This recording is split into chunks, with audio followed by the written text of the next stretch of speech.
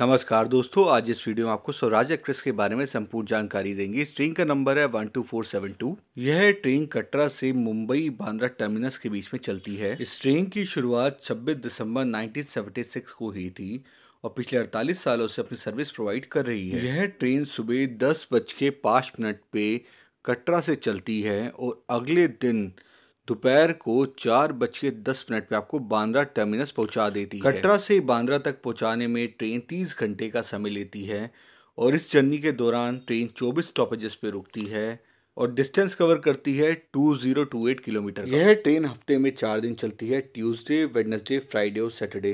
तो इसमें टिकट मिलने की संभावना काफ़ी ज़्यादा है। इस ट्रेन में आपको टिकट मिल जाएगी general class sleeper third AC second AC और फ़र्स्ट एसी की।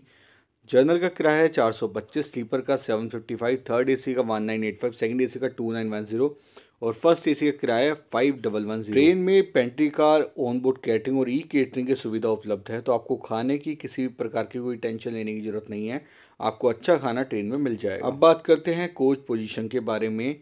ट्रेन में पहले दो डब्बे जर्नल के लगे हुए हैं फिर उसके बाद एक डब्बा फ़र्स्ट एसी का है फिर दो डब्बे सेकंड एसी के। छः डब्बे थर्ड एसी के लगे हुए हैं फिर पेंट्री कार हैं और उसके बाद छः डब्बे स्लीपर क्लास के और फिर दो जनरल के डब्बे लगे हुए हैं। अब बात करते हैं ट्रेन की रेटिंग के बारे में। ट्रेन की ओवरऑल रेटिंग काफ़ी बढ़िया है। साफ़ सफ़ाई की बात करो ट्रेन में काफ़ी सफ़ाई रहती है। पंक्चुअलिटी की बात करें तो ये हमेशा टाइम पे पहुँचती है। ट्रेन में खाने की अवेलेबिलिटी अच्छी है और ट्रेन में सीट भी आराम से मिल जाती है। तो दोस्तों ये थी संपूर्ण जानकारी इस ट्रेन के बारे में।